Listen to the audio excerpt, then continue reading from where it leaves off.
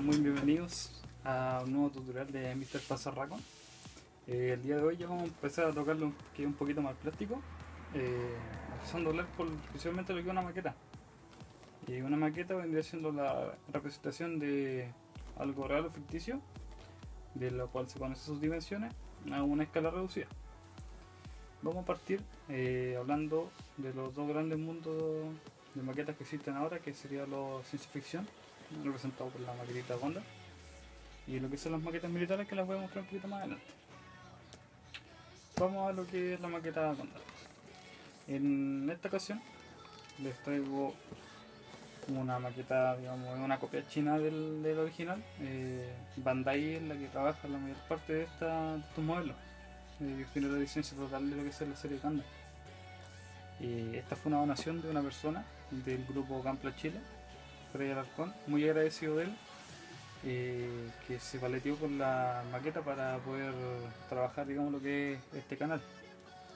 Ahora vamos a pintar y abrir la, la caja. Principal característica de estas maquetas.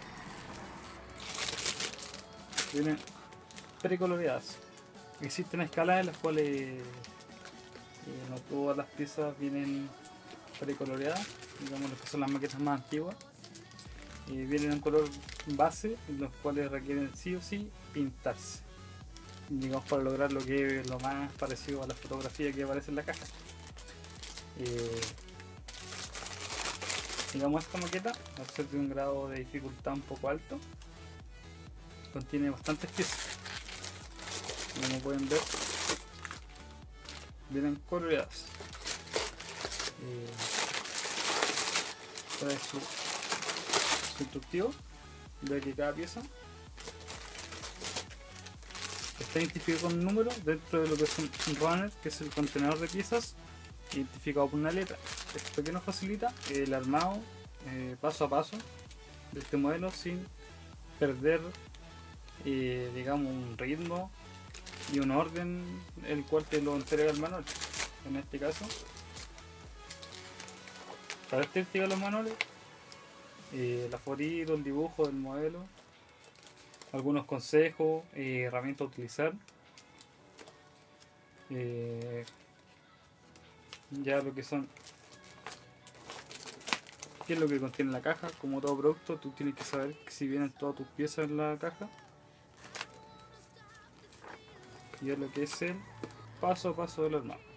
Generalmente lo- los manuales de, todas las maquetas son súper eh, fáciles de comprender. El idioma no es un impedimento para que tú puedas completar el modelo, ya que, como lo explicaba anteriormente, vienen con letra y número. Y simplemente seguir cada paso en el orden que te indica el manual. Y así va a llegar sí o sí el resultado que corresponde que esté final el modelo. Bueno, aquí tiene alguna, alguna imagen, animaciones del, de lo que es la maqueta de la serie. Algunas poses que tú puedes imitar. Y también viene la guía de colores.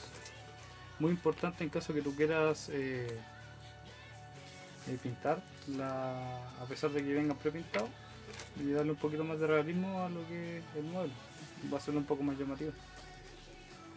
Y eso en sí sería lo que es la maqueta Ganda. Ventajas.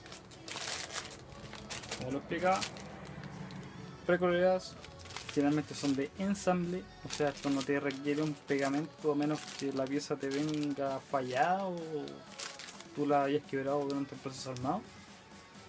Pero en sí es súper fácil, no es. Ahora vamos a lo que es la segunda parte, que ya sería lo que es modelos militares. Bueno, en este caso, este es el modelo que voy a trabajar en el canal para explicar la técnica junto al Gundam que mostré anteriormente. Este es un vehículo Centauro de la marca Trumpeter, escala 35.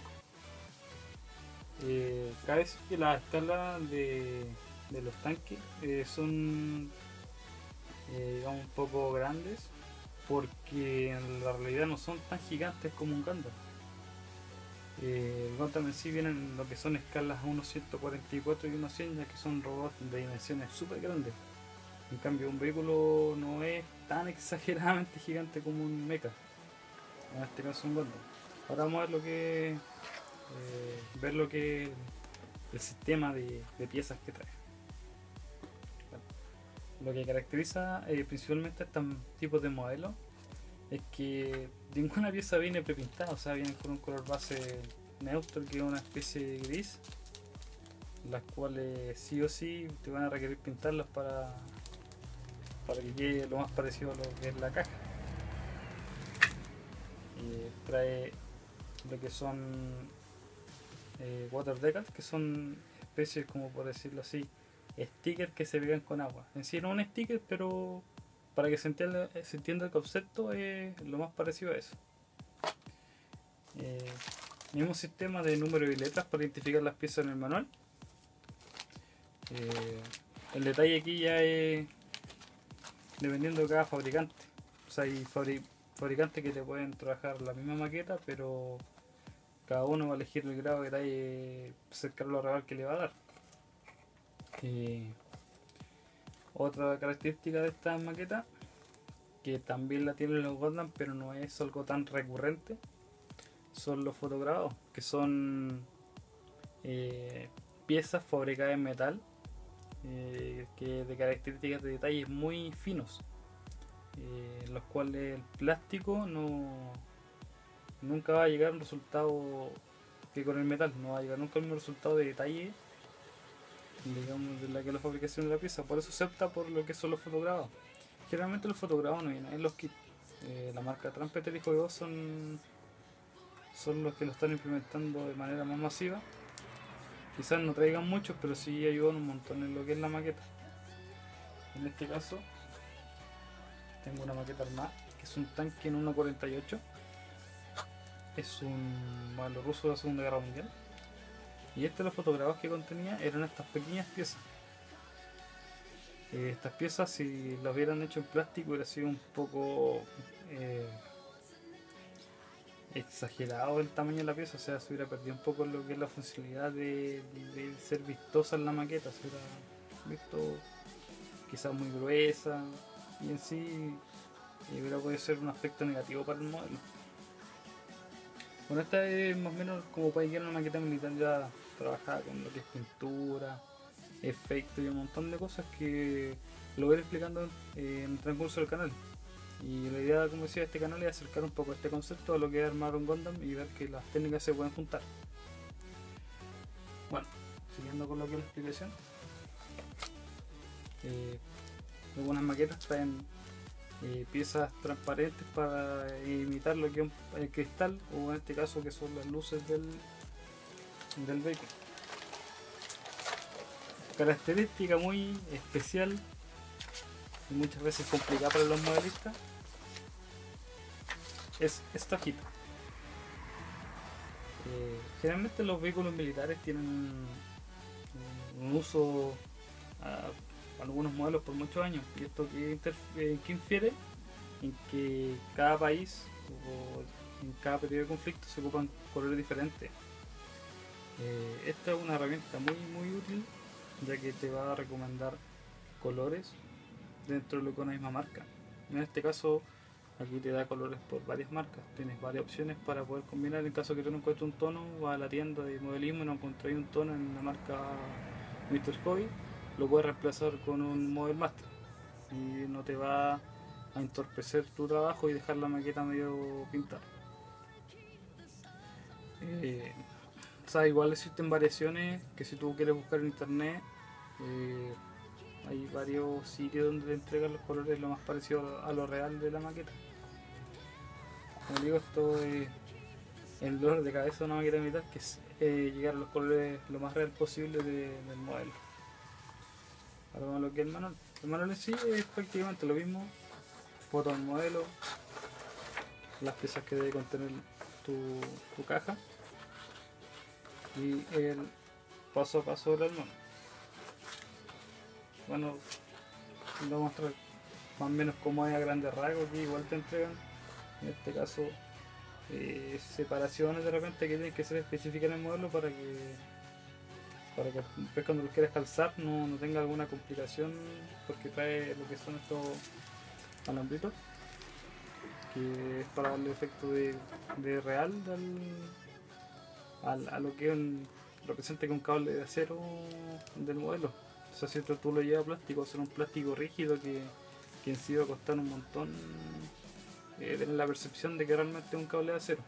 Y en estos tipos de presentaciones de alambre eh, te entrega esa sensación que a gente de, ojos afilados, por así decirlo, es muy, muy llamativo. Bueno, que sigue lo que es el armado y, y ahí ya lo que es la maqueta finalizada. Eh, en sí, el, el ensamble de estas maquetas no es tan fácil como un Gundam. ¿Por qué? Porque estas maquetas necesitan lo que es pegamento. Es un pegamento específico que por ahí más adelante lo voy a mostrar. Ya que estas piezas, a pesar de algunas tener unas guías de encaje, no, no van a enterar por presión y quedar así nomás, sino que van a, a necesitar pegamento para quedar firmes. Eh, digamos, esto es netamente estático, o sea, tú no vas a, a poder mover, no sé, las ruedas muchas veces del modelo, no sé no está en detalle si se podrá mover. La torreta generalmente sí se puede mover para encajarla, pero no es como tipo juguete que tú lo vas a andar manipulando a cada rato. Bueno, entonces ya lo que sería el, vehículo que vamos a trabajar. Existen igual otras otras maquetas militares que voy a mostrar a continuación. Continuando un poco con lo que estaba explicando antes de las maquetas militares, nos encontramos aquí con varios eh, subdivisiones de lo que es el modelo militar. Tenemos lo que son los barcos. Estos barcos se trabajan en escalas muy diferentes a lo que son los blindados y hay un barco en una escala real de algo gigante y, y tal como los Gundam se trabajan en escala mucho más reducida, ya que si tú tuvieras un barco o un Gundam 135, para la gente que ya más los conoce, sería una maqueta gigante. Eh, en este caso, yo tengo un, un barco en unos 700. Más o menos vamos a, ver las dimensiones. Esto es lo que vendría siendo una escala 700 en un barco. Bueno, como todos sabemos, no todos los barcos miden lo mismo, pero esto es más o menos lo que mediría el, el UCS Arizona en esta escala. ¿Cuál es la gracia de estas escalas? Que contienen menos piezas, pero sacrificando un poco lo que es el detalle. Eh, o sea, tú en una escala un poco bien reducida no le puedes exigir un nivel de detalle tan ínfimo a la maqueta. O sea, a menos que tú lo trabajes haciendo detallado comprándole fotografía específicamente al modelo, no, no va a conseguir un modelo, un resultado igual al de la Arizona 1350, que va a ser una maqueta mucho más detallada. También entra lo que son los water decals.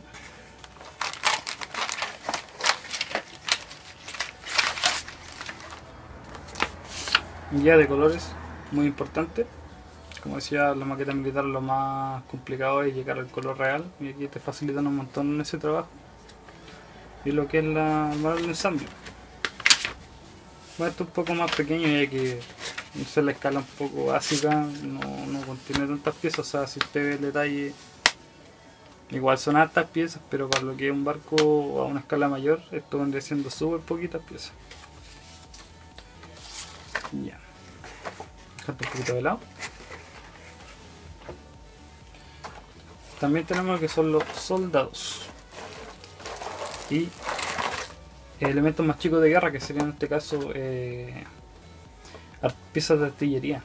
Generalmente las piezas de artillería vienen eh, comandadas por soldados. Y como pueden ver aquí, mismo sistema de letra de número, pero con soldados.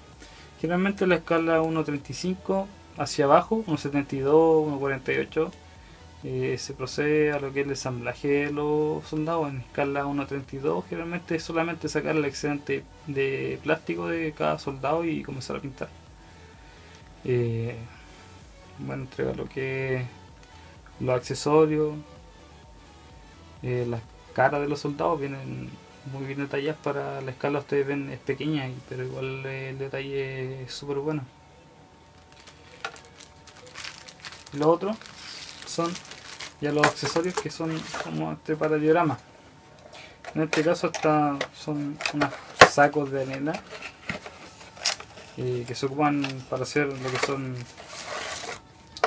eh, trincheras, barcadas de le dan o algunos blindados lo ocupaban para una protección extra en el blindaje. Bueno ya pasando lo que es la parte final de este video vamos a, mostrar lo que son otro tipo de figuras de Wargames, en este caso de Warhammer. Eh, características de estas figuras que son a pesar de ser muy pequeñas son súper detalladas. Eh, sirven un montón para lo que es eh, desarrollar técnicas de, de, pincel, ya que el pincel es una herramienta súper útil para esta figura.